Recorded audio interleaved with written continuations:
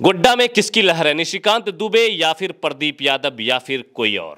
सबसे पहले तो मैं आपके चैनल के माध्यम से जितने भी श्रोता गण देख रहे हैं सुन रहे हैं सबों को मैं झारखंडी जोहार मैं लालू यादव। और जहाँ तक आपका ये चुनावी समर में राजनीतिक सवाल है कि गोड्डा में किसकी लहर है तो हम आपको दावे के साथ कह सकते हैं कि गोड्डा में इस बार बदलाव की लहर है। और बदलाव की लहर मैं इसलिए कह रहा हूँ कि यहाँ पिछले पंद्रह सालों से 2009 से लगातार तीन टर्म यहाँ चुनाव जीते निशिकांत दुबे जी। लेकिन पंद्रह सालों में ज़मीन पे कभी धरातल पे उतर के उन्होंने कोई काम नहीं किया भाई। गोड्डा के लोग, हम कह सकते हैं गोड्डा लोकसभा के 85 परसेंट लोग होंगे। हम जैसे लोग जो कि आज तक आमने सामने निशिकांत दुबे जी को नहीं देखे हैं। अरे भाई, हवा हवाई सांसद उनको लोग कहते हैं। तो ऐसे ही नहीं कहते हैं। लोग किसी गाँव में जाते नहीं हैं। कोई जो स्थानीय मुद्दा होता है लोगों का कोई मुद्दा पे वो आज तक काम ही नहीं किए हैं। एक चीज़ यहाँ पर रोकूँगा मैं आपको निशिकांत दुबे जाते नहीं होंगे आपके गाँव नहीं आए होंगे लेकिन उनका काम बोल रहा है। गोड्डा में रेलवे स्टेशन देवघर में एम्स देवघर में हवाई अड्डा ये सब काम इतनी बड़ी उपलब्धि। मेरे भाई एक बात बताइए ये अगर कोई भी सांसद होता अगर आपने रेलवे की बात कर रही थी जनाब फुरकान साहब जब सांसद थे यहाँ से लालू यादव जी केंद्र में रेल मंत्री था मैं स्पष्ट आपके चैनल के माध्यम से बता देना चाहता हूँ कि केवल नारियल फोड़ देने से किसी के माथे पर अगर ठप्पा लगा करके और आप झूठ का ढिंडोरा पीट करके कहिएगा कि गोड्डा को मैंने रेलवे ला दिया यह बिल्कुल गलत है। ये तो हमारे भारतीय संविधान में है भाई लोकतंत्र में है कि आज़ाद हिंदुस्तान में जहाँ जो चीज़ की कमी है आपने संसाधन को पहुँचाइए। जब यहाँ से फुरकान अंसारी साहब एमपी थे रेल मंत्री केंद्र में लालू यादव जी थे तब फुरकान अंसारी ने Pirpainti to Godda rail line की पूरी ये हसडिया होते हुए उन्होंने मांग किया था और पास हुआ था। ये कौन सी बड़ी बात डिंडोरा तो वही लोग पीट रहे हैं डिंडोरा तो वो तो पीटेंगे जो वो तो बड़का झूठा पार्टी तो बीजेपी को ऐसे नहीं कहता है लोग। वो तो केवल है कि हम कैसे क्रेज लें हम कैसे भाई इस चीज़ का क्रेडिट लेने में आगे है। आपने एम्स की बात कर दी आज आप बताइए गोड्डा में क्या है? आप बताइए महगमा में क्या है? अलग अलग विधानसभाओं में क्या बात करते हैं? कितनी हॉस्पिटल में उनकी कुछ गाँव में स्वास्थ्य केंद्र दिखते हैं लेकिन वो ताला लटका हुआ कहीं कुछ नहीं भाई ना स्वास्थ्य केंद्र ने डॉक्टर है भी तो लटका हुआ आज तक ज़मीन पे उतर के क्या काम हुआ? हवा हवाई बात कर देने से केवल हो जाएगा। अगर आप बात कर रहे हैं कि यहाँ अडानी है फला है तो वो बड़े पूंजी पतियों के लिए भाई तो अगर वो ये कह रहा है तो उनको ये समझाइए ना कि आपने अडानी पावर प्लांट गोड्डा में अगर लगाया तो दुबे जी से सवाल पूछना चाहिए या भाजपा के लोगों से, क्या स्थानीय कितने लोगों को रोज़गार मिला? आप ही तो बोले थे कि गोड्डा के लोगों को रोज़गार मिलेगा। प्रायोरिटी प्राथमिकता तो पहले आप देंगे ना लोकेलिटी को, लेकिन गोड्डा के कितने लोगों को रोज़गार मिला? आज तक दुबे जी बताएँगे कोई भाजपा के लोग? अडानी पावर प्लांट लगा दिए, गौतम अडानी जी, निशिकांत दुबे जी का दोस्त है, भाजपा का फिनांसर है एक नंबर का। वो तो अपनी पूंजीपति, यहाँ किसानों की ज़मीन को हड़पी गई, लूटी गई।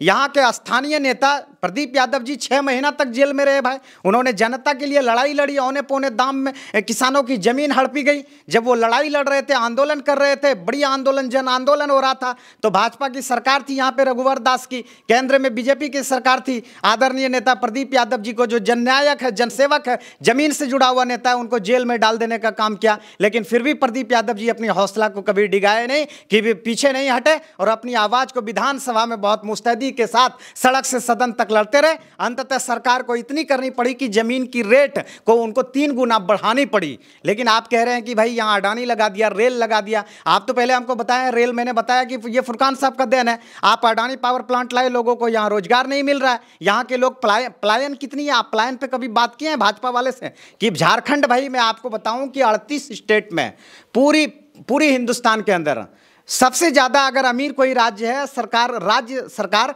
अगर केंद्र सरकार को सबसे ज़्यादा कोई अगर पैसा इनकम टैक्स देती है तो वो राज्य झारखंड है। मैं आपको बता दूँ कि उत्तर प्रदेश से कट करके उत्तराखंड बना था और मध्य प्रदेश से कट करके छत्तीसगढ़ बना था और बिहार से कट करके पंद्रह नवंबर पंद्रह नवंबर दो हज़ार को झारखंड बना था। लेकिन मैं आपको बताऊँ कि झारखंड की बदहाली क्या है? झारखंड के ही सबसे जो, सबसे ज़्यादा नौजवान मजदूरी करने के लिए उत्तर प्रदेश, दिल्ली, गोवा, पंजाब, हरियाणा जा रहा है। अरे भाई, आप अपने घरों में बहुत अमीर है और आप मजदूरी करने के लिए बाहर जा रहे हैं। इसका मतलब आपके घरों ने किसी ने किसी ने मिलकर लूटा है। चौदह लोकसभा है झारखंड में, बारह सांसद बाहरी है। हमारे झारखंड की एक एक हज़ार करोड़ रुपया केंद्र सरकार ने रोक के रखा है उस पर कोई बोलने वाला नहीं। केवल एक सांसद राजमहल का विजय हासदा जी झारखंड मुक्ति मोर्चा पार्टी से जब जीत करके गए तो अकेला बेचारे वहाँ पे बोले। यहाँ मुद्दा ये है इस बार गोड्डा की अगर बात कर रहे हैं तो केवल गोड्डा नहीं पूरे देश में मोदी का कोई लहर नहीं है। लोगों को रोज़गार चाहिए लोगों को विकास चाहिए। लहर नहीं है वो बीजेपी वाले कह रहे हैं अब की बार चार पार। अच्छा एक बात मुझे बताइए भाई गाँव समाज में जब कोई कुर्सी बेचने वाले लोग आते हैं ना, कपड़ा बेचने वाला आता है ना तो पहले वो भी 400 500 एक हज़ार की बात करता है। लास्ट में औने पौने दाम में दे के उनको जाना पड़ता है। तो केवल डींग हाँकने हाँकने से नहीं होगा। पूरे देश में मोदी लहर नहीं है, इस बार मुद्दे की लहर है। लोग विकास खोजता है। राम मंदिर बना देने से देश का विकास नहीं हो गया है। कुछ सुनने वाले लोगों को बुरा लगेगा, लेकिन माफ़ कीजिएगा, इस देश में जब कोरोना काल आई थी मेरे मित्रों तो आप याद कीजिएगा, देखने वाले, सुनने वाले लोग, आप किसी मंदिर के चौखट पे नहीं गिड़गिड़ा रहे थे। आप ऑक्सीजन के लिए हॉस्पिटलों में जाकर के अपनी साँसें गिन रहे थे और गिड़गिड़ा रहे थे। सारे मंदिर मस्जिद गुरुद्वारा का ताला बंद था। अगर कोई काम आ रहा था तो मेडिसिन काम आ रहा था डॉक्टर काम आ रहा था मानवता काम आ रहा था। लेकिन भाजपा वाला मुझे बताए कि जिस आप हिंदू मुसलमानों की राजनीति करते हैं जिस मंदिर मस्जिद की राजनीति करते हैं उस मंदिर मस्जिद ने कभी किसी को मुसीबतों में काम दिया है क्या? आज कहाँ पूरे देश में कहीं मंदिर के नाम पर चुनाव नहीं हो रहा है? कोई पाकिस्तान के नाम पर चुनाव नहीं हो रहा है। जनता बे, बे, बेवकूफ़ तो बनाया गया लेकिन अब भारत की जनता जाग चुकी है, जिसमें हमारा गोड्डा भी एक भारत का अभिन्न अंग है। गोड्डा की जनता भी जाग चुकी है और गाँव गाँव दुबे जी से सवाल लोग पूछने लगे कि पंद्रह सालों में आपने क्या किया? आपको एक बात चैनल के माध्यम से बताना चाहूँगा, जब प्रदीप यादव के टिकट का घोषणा भी नहीं हुआ था, निशिकांत दुबे जी हवा में बात कर रहे थे कि अगर प्रदीप यादव जी को गोड्डा से टिकट मिला तो मैं चुनाव प्रचार भी नहीं करूँगा। और आपको पता होगा कि वो डर से बोल रहे थे। जब किसी चीज़ को जब किया जाता है, जब उनको डर होता है तो वो क्या होता है ना, धड़फड़ाहट में बहुत बात जोश में आकर के बोलते हैं। आज आप देख लीजिए पूरी फैमिली, उनका एक एक कार्यकर्ता गाँव गाँव जाकर के बउआ रहे हैं चौखट पर के, चौखट पर और हाथ भीख के तरफ़ वोट मांग रहे हैं। चूँकि वो जान रहे हैं कि हमारी कमज़ोरी को जनता समझ चुकी है। जनता को हवाई जहाज़ नहीं चाहिए। जनता को भाई सड़क सड़क चाहिए बिजली चाहिए पानी चाहिए शिक्षा चाहिए स्वास्थ्य चाहिए रोज़गार चाहिए। इन मुद्दों पे तो निशिकांत ने कभी बात नहीं किया है। कभी कोई बता दे कि एक भी लोगों को उन्होंने रोज़गार देने का काम किया है। एक कुछ भी तो हमको भाजपा वाला गिना दे हमारे सामने डिबेट कर दे। अगर सचमुच में अगर वो मुझे डिबेट में हरा दे तो मैं लगता है सियासी बातें करना मैं छोड़ राम मंदिर से बड़ी भी कोई चीज़ है वो उतने बड़ी चीज़ राम मंदिर बना दिया उन्होंने। राम मंदिर आस्था की चीज़ है मैं भी सम्मान करता हूँ। लेकिन आप बताएँ क्या मंदिर मंदिर झपने से हमारे पे, पेट की पूजा हो जाएगी?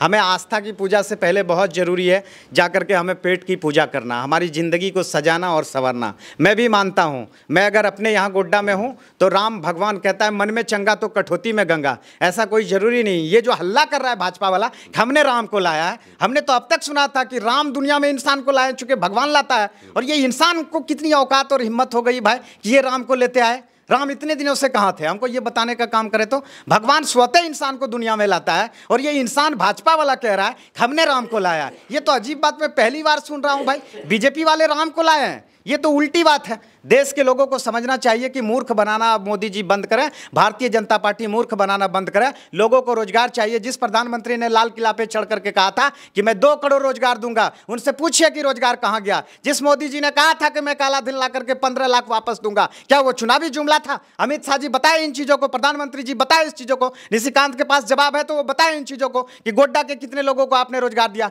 झारखंडियों के हितों में आपने कितने सोचा, झारखंड के नौजवानों के लिए आपने क्या, पंद्रह साल लोगों ने मौका दिया आपको। आज तक चेहरा लोग आपका नहीं देखा। आपने कौन सा पूंजीपतियों को काम, काम देने का काम किया है? अडानी को औने पोने में ज़मीन बेचा है आपने। अडानी से चुनाव लड़ने के लिए आप पैसा लेते हैं। पूरी आप आप आप इधर पब्लिक प्लेस पे जा करके आप गौ, ग, मतलब गौ को माता मानते हैं और आप बीप कंपनी से चंदा लेते हैं। ये तो जगजाहिर है भाई उजागर हुआ। जवाब देना चाहिए भारतीय जनता पार्टी के शीर्ष नेताओं को। चुल्लू भर पानी में डूब करके मर जाना चाहिए। लोगों में गौ माता के नाम पे राजनीति करता है और अपना उधर उधर गौ के मांस पे पैसा तसीलता है। पता है ना, आपके चैनल के माध्यम से मैं बताना चाहता हूँ कि आप हिसाब मांगे कि आप भाई कितने पैसा बीप कंपनी से लेते हैं। आप बताइए, उससे ज़्यादा दुष्ट पार्टी कौन है? उससे ज़्यादा खराब और गिरा हुआ पार्टी कौन है? कि अपनी सियासत को आगे करने के लिए लोग कुछ भी कर लें। ये बात मान जाइए, पूरे देश में केवल गोड्डा में ही नहीं, मोदी के नाम से लोगों का विश्वास उठ गया है। लोग समझ रहा है कि ये पूंजीपतियों के हाथों देश को बेच रहा है, देश की संपत्तियों को बेच रहा है। आने वाले दिनों में अगर भारत के लोग ना संभले तो हमें लगता है कि ये संविधान भी बदल देंगे और भाजपा के बड़े नेता ने स्टेटमेंट दिया है, लोगों के पास सोशल मीडिया पर ट्रेंड कर रहा है कि इतनी मतों से आप हमको जिताइए, इतनी बहुमतों से जिताइए कि हम संविधान को बदल पाए। भाई, बाबा साहब, डॉक्टर भीमराव अंबेडकर ने संविधान बनाया बनाया, जिसमें मनता मूलक समता मूलक बराबरी का अधिकार, सबको दर्जा दिया है आरक्षण दिया है और आप संविधान बदलने की बात कर रहे हैं। वो तो मनु स्मृति को मानने वाले लोग हैं, भारतीय जनता पार्टी के लोग। आपको मैं बताना चाहता हूँ आपके चैनल के माध्यम से कि अब आरएसएस का मुख्यालय नागपुर में उन्होंने झंडा नहीं फहराया, बावन साल तक तिरंगा, जबकि भारत की तिरंगा शान है, भारत की तिरंगा जान है। तिरंगे के लिए मर सकता हूँ, मिट सकता हूँ। हमारे पूर्वजों ने गले कटवाई है, गला कटवाई है, कुर्बानी दी है जान की, बलिदानी दी है, तब हमें हिंदुस्तान आज़ाद मिला। और ये आज हमारे देश में एक अंग्रेज़ चला गया ये काला अंग्रेज़ हमारे देश में हमारे ऊपर शोषण कर रहा है। भाई, मैं कहना चाहता हूँ कि गोड्डा लोकसभा के साथ साथ पूरे देश में मांग है कि भारतीय जनता पार्टी की सरकार को कैसे बदला जाए। और इस बार मुझे विश्वास है कि जो 400 का नारा दे रहा है, वो 200 भी पार नहीं कर पाएँगे। ये मैं आपके चैनल के माध्यम से ऑन रिकॉर्ड कह रहा हूँ कि भारतीय जनता पार्टी के बहकावे में मत आना है पूरे जितने भी श्रोतागण हैं, आप आप रोज़गार की बात कीजिए, वो धर्म की बात करेगा, आप रोज़गार की बात कीजिए। धर्म की रक्षा हम कर लेंगे, भगवान मेरी रक्षा खुद करेंगे। मुझको कोई औकात नहीं हम इंसानों को कि हम भगवान की रक्षा कर पाए। भगवान हमारी रक्षा करने के लिए खुद है। हम राम की रक्षा नहीं कर सकते, राम हमारी रक्षा खुद करेंगे। और जब राम की आइडियोलॉजी पर भारतीय जनता पार्टी के लोग चलने की बात कर रहे हैं तो राम तो सबको साथ लेकर के चले थे भाई। राम राम की इतिहास क्या है? राम के बारे में अगर एक काल्पनिक कथा भी है या जो भी है, उनको अगर मानते हैं तो राम के बारे में तो राजा दशरथ का पुत्र थे। एक तरफ़ उनका राज्याभिषेक होना था, एक तरफ़ आदेश हो गया कि वलकल पुरानी कपड़ा पहन करके निकल जाइए। तो रास्तों में केवट को लेकर के चले, मल्ला को लेकर के चले। अगर जुर्म हो रहा था, बाली सुग्रीव के साथ अन्याय कर रहा था तो राम ने बाली का बध करके सुग्रीव को न्याय दिलाया। और भी जितने भी इस रास्ते में आपने देखा, रावण ने जब विभीषण के साथ अन्याय कर रहा था तो विभीषण को इंसाफ दिलाया रावण के बध करके। उनको लंका का जा करके राजा बनाया। लेकिन भारतीय जनता पार्टी में सारा बलात्कारी लोग, सारा गुंडा लोग, सारा माफिया लोग, पूरे देश में विपक्ष के नेताओं के घर आप ईडी भेज रहे हैं सीबीआई भेज रहे हैं इनकम टैक्स भेज रहे हैं। लेकिन भाजपा के एक भी नेता के घर पे ईडी ईबी और सीबीआई और इनकम टैक्स का कहीं कुछ नहीं। क्या भाई दमाद का रिश्ता है क्या भारतीय जनता पार्टी का? उनके नेताओं के बेटा बेटी का शादी क्या है क्या भाई? एक भी सीबीआई वाले इनकम टैक्स वाले नहीं। सारे बलात्कारी लोग उनमें, सारा लुटेरा लोग उनमें, सारा दंगाई करने वाले लोग उनमें। ये ये कैसा रवैया है? इस पर कोई बात नहीं करता है। मैं दावे के साथ कहता हूँ, केवल गोड्डा ही नहीं, गोड्डा के साथ साथ पूरे देश में बदलाव की बयार है। और जहाँ तक गोड्डा की बात करते हैं तो गोड्डा के मुद्दे पे मैं बताना चाहता हूँ कि इस बार कांग्रेस महागठबंधन समर्थित प्रत्याशी जो कांग्रेस छाप का कैंडिडेट कांग्रेस पार्टी का कैंडिडेट महागठबंधन के समर्थित प्रत्याशी आदरणीय प्रदीप यादव जी है, एक जमीनी नेता है, हमेशा से झारखंड के जल जंगल ज़मीन, शिक्षा, स्वास्थ्य, रोज़गार के लिए लड़ा है और इस बार लोग बेहद पसंद कर रहे हैं। हमारे लिए वो नेता चाहिए जो कि रात के बारह बजे अगर हमें किसी तरह की कोई ज़रूरत पड़ती है, एक बार फ़ोन करें तो हम अपने सांसद से बात कर लें, हम अपने नेता से बात कर लें। ऐसे नेताओं से नहीं कि नंबर खोजने के बाद भी पता ना चले और मिल जाए तो पता चले कि मैं दिल्ली में हूँ। ऐसा नेता गोड्डा को नहीं चाहिए। पंद्रह सालों से गोड्डा के लोगों को लूटा है। इस बार गोड्डा के लोगों ने हिसाब किताब अपना बराबर कर लेगा। भाई, इस बार की लड़ाई बहुत बड़ी लड़ाई है। लोकतंत्र को बचाने की लड़ाई है। संविधान को बचाने की लड़ाई है। इस बार मर्यादा को बचाने की लड़ाई है। अगर गोड्डा लोकसभा की बात करते हैं तो मानिए हमारे पूर्व मुख्यमंत्री हेमंत सोरेन को इंसाफ दिलाने की लड़ाई है। निर्दोष उनको सलाखों के पीछे जाकर के साजिशन उनको धकेल दिया है। अरविंद केजरीवाल दिल्ली में बेहतरीन काम कर रहे थे। आम आदमी पार्टी का मुखिया। भारतीय जनता पार्टी को जब उनकी डर सरताने लगे तो उनको जाकर के सलाखों के नीचे बंद कर दिया। मैं बताना चाहता हूँ, मेरे मोहतरम बुज़ुर्गों, दोस्तों, नौजवान साथियों, कि आप ऐसे ऐसे लोगों के फिर में ना पड़े। ऐसे लोगों को करारा जवाब दें। भारतीय जनता पार्टी को इस देश से उखाड़ करके फेंकना ही भारत के लिए, भारतीय संस्कृति के लिए, भारत की मानवता के लिए, विकास के लिए कल्याणकारी होगा। और ये आम जनता इस बातों को समझ रही। जितना भी छोटा छोटा कास्ट के लोगों को, दलित, महादलित को बरगलाया जाता है, आज तक बताया कि उनके भलाई के लिए कुछ किया है? कोई भी बताए बीजेपी का सबसे बड़ा वोट बैंक वही है दलित। दलित भाई को समझना होगा दलित भाई को समझना होगा कि जिस दलित परिवार से आने वाला बाबा साहब डॉक्टर भीमराव अंबेडकर ने संविधान बना करके उनको आरक्षण देने का काम किया और आज उन्हीं दलित भाई का हनन कर रहा है। मध्य प्रदेश में एक भाजपा के नेता ने दलितों के चेहरा पर पिसाब किया था। मैं आपके चैनल के माध्यम से बताना चाहता हूँ, दलितों को मंदिर घुसने नहीं दिया जाता है, दलितों को रोक दिया जाता है, दलितों को शूद्र माना जाता है, दलितों को हिंदू मानने पे तैयार नहीं। अरे, हिंदू शब्द का मतलब क्या होता है भाई? चोर कहा गया हिंदू शब्द का। सनातन होता है, सनातन का मतलब सच्चा होता है। भारतीय जनता पार्टी के लोग तो दलितों को हिंदू मानता ही नहीं, लेकिन चुनाव आता है तो भाई उनको पता नहीं कौन सा इंजेक्शन दे देता। हमें लगता है कि ऐसा कुछ नहीं, इस बार सब लोग समझ रहे हैं छोटा छोटा लोग भी समझ रहे हैं। कि हमारे संविधान को जलाने वाला कोई और नहीं, बल्कि ये आरएसएस, ये बीजेपी के लोग ही संविधान को जलाने वाले लोग हैं। इसलिए इस बार पूरी लोगों ने मिजाज बना लिया है। गोड्डा लोकसभा के क्षेत्रों में जब मैं घूमता हूँ, अभी पिछले दिनों में पूर्णिया में था चुनाव में। जिस तरह लोगों ने सेकुलरिज्म के नाम पर एक नेशनल फिगर पप्पू यादव को वोट देने का काम किया, लोगों ने देखा कि नहीं, इनकी विचार क्या है, इनका काम क्या है। विचारे ने काम किया था। उसी तरह लोगों को काम करने वाला नेता चाहिए। और ये, हम ये भी नहीं कहते हैं कि स्थानीय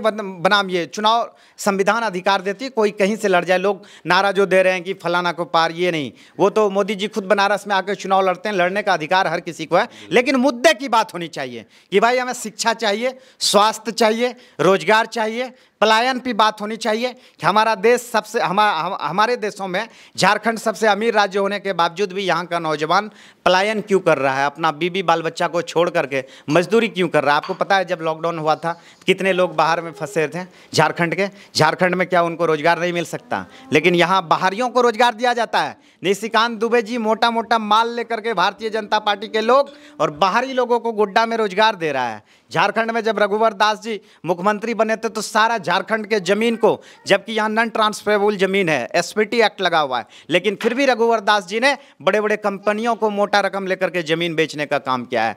इस बार गोड्डा लोकसभा में अगर लहर किसी का है तो महागठबंधन का लहर है। चूँकि लोगों ने थाना है कि हमने केंद्र में जाकर के आदरणीय राहुल गांधी जी, जो उनकी सोच है, आदरणीय नेता प्रियंका गांधी जी, आदरणीय नेता लालू यादव जी, आदरणीय नेता दीपांकर भट्टाचार्य जी, आदरणीय दिसुम दिसम गुरु शिबू सोरेन जी, इन तमाम नेताओं के विचारों को जन जन में लेकर के जाना है, झारखंड को बचाना है, देश को बचाना है, संविधान को बचाना है, लोकतंत्र को बचाना है।